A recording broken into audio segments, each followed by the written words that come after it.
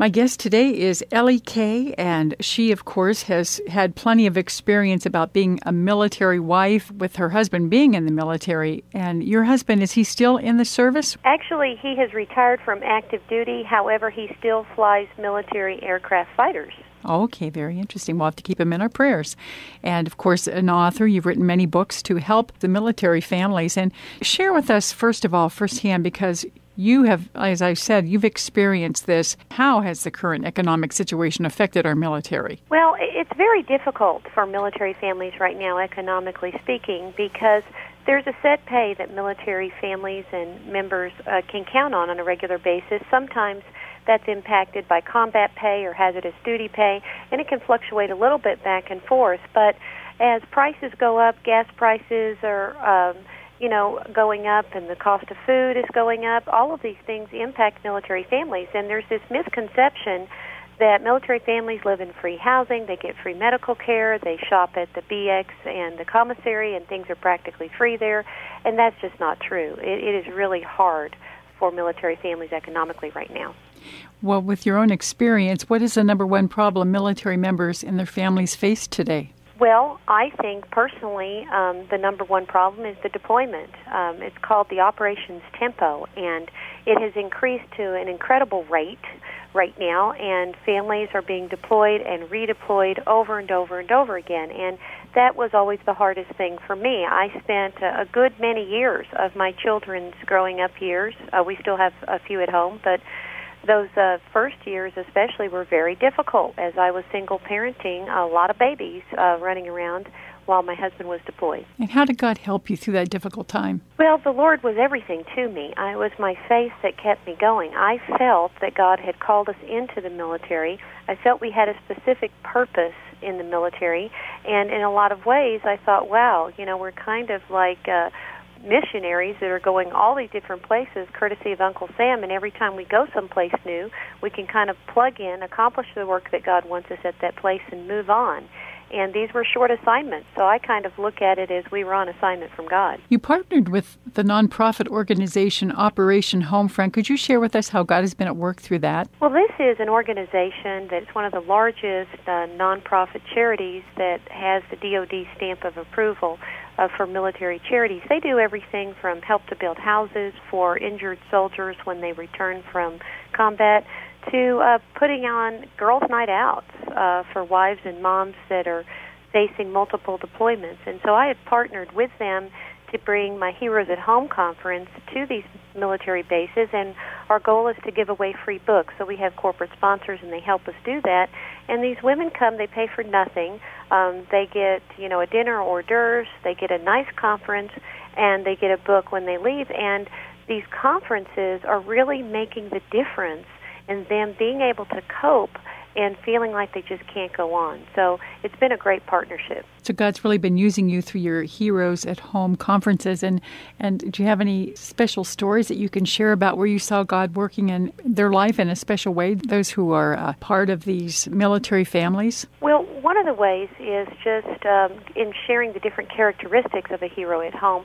When we were called in uh, last year to go to the Stryker Brigade, this was a unit up in Alaska where the men and women had been gone a year. Half of them came home. Everybody was excited about them coming home. And then they were redeployed again two days later, and the other half did not come home for another four months.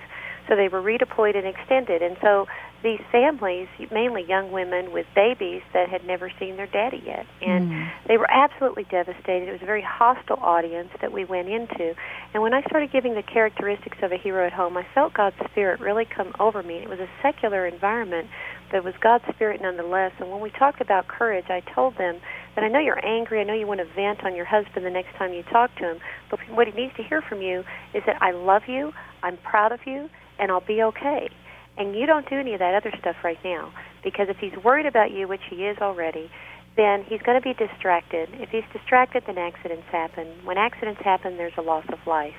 So if you want to do your part to keep your soldier and the soldiers in your unit safe, you tell your husband that you're going to be just fine. And then when he comes home, let him change diapers and do all that. so uh, two days later, we came home from that conference and we got a phone call that, uh, which you may have seen on CNN with uh, young American troops being taken out by sharpshooters. One of the, the soldiers that fell uh, was the spouse of a wife that was in the audience. And when they went to go give her notification that her husband would not be coming home, one of the first things that she said was, I'm so glad that I went to that Heroes at Home conference because I was going to vent on my husband because he's my best friend. I just tell him everything. I tell him how I feel.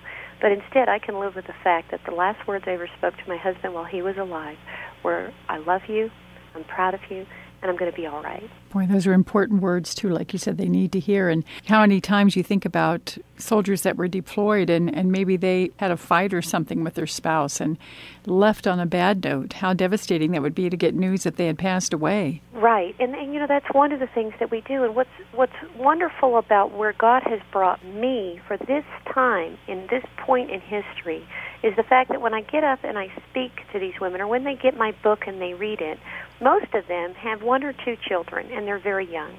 And they look at me and they say, Oh my goodness, she had five babies in seven years, and she made 11 moves in 13 years. If anyone can identify with what I'm going through, then she can.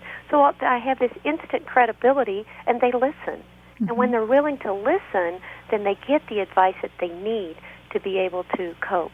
And you talk about that your primary purpose is to help military families learn to develop the characteristics that will help them cope with the military lifestyle. And could you tell us some of those characteristics, the top 10 characteristics that the Lord has taught you on how to be a hero at home? Well, we've already talked about courage. Uh, flexibility is another one, and that's what I like to say is, is happens when you're stationed to go to Georgia and your household goods are going to Guam. You know, so you have flexibility in uh, what's kind of going on in your lifestyle.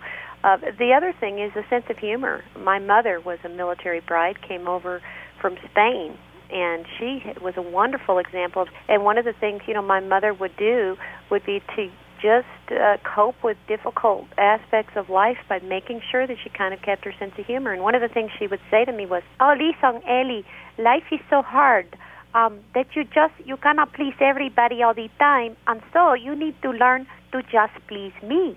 and so I thought, wow, that's good advice. So I actually tell my children that. that's cute.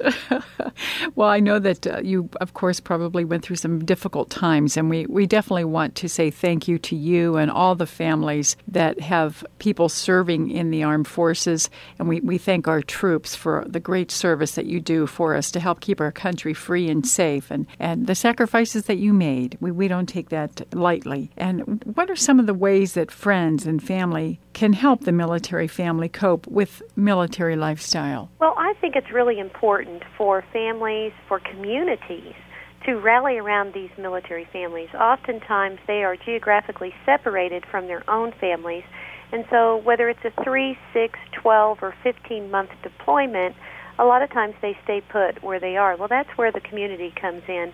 And when there's a long deployment, like a one year deployment, usually the first month everybody's there. They're just calling, they're bringing over meals, they're doing all of that. By month two, it starts to wane, and by month three, it's all but stopped. And so I recommend that you adopt a family for a year, for that year of deployment especially, that you put it on your calendar and you assign out different tasks to different people in the church. For example, one month the youth group, it's it's you know youth group leader's responsibility to contact that family and let the boys go over and cut the lawn, or maybe once uh, during that month the the girls that maybe certified in a Red Cross babysitting certification or something can babysit the children while mom gets a break. So, and then um, another time the women's ministry can bring them a meal or throw a, a surprise girls' night out party uh, for the wife, or you know just be creative and fun. And and even if it's a, a Sunday school group taking up an offering to go out and buy them gift cards to have a break and go eat out at a restaurant or, or go to a movie and have a gift card for a movie theater. You know, those kinds of things are all really practical, helpful things that speak volumes, and mm-hmm. it just really makes all the difference. Well, I know that you minister to the military families, but do you also get to minister with a special message for the troops themselves? I do. And when I go overseas, I mean, that to me is just, you know, one of the greatest things about what I get to do and that is to go speak to the troops themselves. And I did that recently. I did a tour of United States Air Force in Europe. Went did 21 presentations in uh, four different countries and five different bases. And oftentimes there was, you know, 90% green in the audience where they were just all active duty military members, and a lot of them are quite young. What they see overseas is mainly what they can see on CNBC and CNN, MSNBC, uh, Fox News, and a lot of times they get the media that is so anti-war and so anti-military in some ways. So when I go over and I talk about the, the characteristics of a hero, which are the, the people that uh, you know that I'm talking to directly, and I and I challenge them with the idea that putting on a uniform doesn't make you a hero. It's displaying these characteristics and serving with integrity and honor that make you a hero. And I really build them up. And one of the messages I give to them from America is that we love you, we're proud of you, and we've not forgotten you. And I have had in the audience um, these crusty veteran uh, chief enlisted officers that are actually um, crying, you know, tears streaming down their face at the thought that America hasn't forgotten them. Mm-hmm. And that is an incredible honor to be able to go over and to encourage them and to thank them while they're in the heat of it because mm-hmm. they're deploying. They deploy down into Iraq and they come back into Europe. And to be able to speak to them has been an incredible honor. And I, I just can't imagine how difficult it has to be to be away from your family for so long and, and never even knowing if you're going to see them again. I mean, what sacrifices they have made truly, and, and many of them who've lost limbs. And uh, their lives have been changed dramatically, and, and they do it so selflessly for us and for their families to keep us safe and free. Well, and Jan, you know, you bring up an excellent point in that. And we have heard it said that the greatest generation was the incredible um, men and women involved in World War II, and that was truly a great generation. But I am telling you, as I go and I see worldwide these young American troops, and they know what's going on when they sign up. It is an all volunteer force. They were not drafted into this, they volunteered for this. I beg to say that we have a pretty great generation right now. Mm-hmm. Amen. And we need to keep them lifted up in prayer and do all that we can to help them as well as their families. Absolutely. Do you have a website where people could go if they wanted to find out more information about your ministry or about Operation Homefront? Certainly. You can go to elliekay.com and uh, there there's a mili- there's a link uh, for military families, and they have all kinds of great military links. People that I partner with, including OperationHomefront.com. Thank you so much, Ellie, for your time. Thank you very much, and thank you for the ministry that you're having right now by doing these programs to our military families and their troops.